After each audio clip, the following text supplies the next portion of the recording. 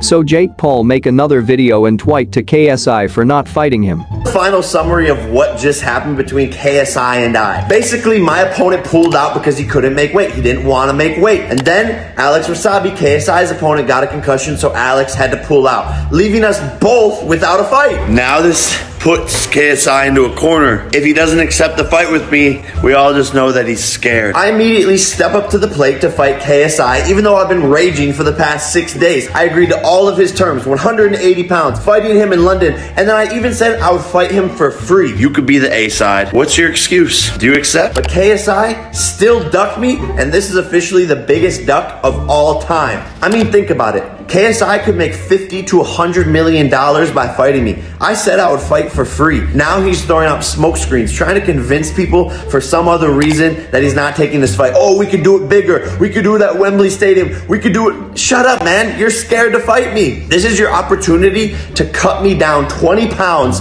over the next 20 days and to make all of the money from the event. KSI, fighting me right now would have been your best chance. I have to cut all of this weight. I'm not in camp right now. My team is nowhere around me. We would have to reassemble, fly to the UK with the time difference, fight in front of all of your fans. You said you had the mindset. You said that you're going to win no matter what. I've got the mindset. The mindset of no one can beat me. No one can beat me. You think you can beat Jake Huh? right now? You think you can beat Jake?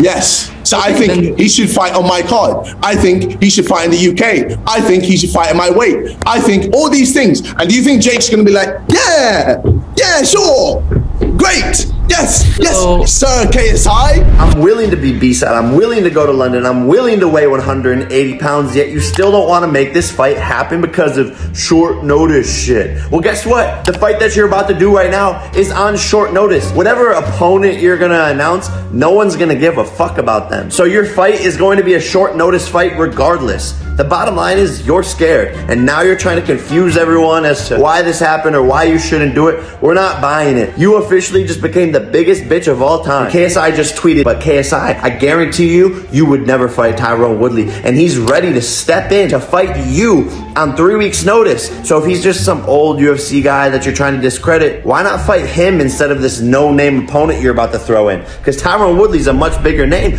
but you won't do it. Think you can beat Jake? Yes, yes.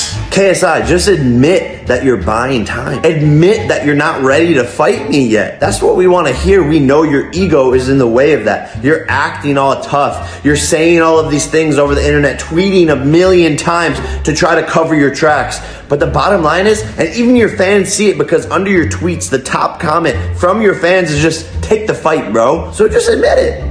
What? You can't do that? We're not mad at you, but we know. We know what's going on here, and the bottom line is you don't want to fight. KSI versus Swamp's number don't they have music together? He's fighting someone who has never fought before, and that is his friend this fight should for free. Fauci versus DG should be the main event.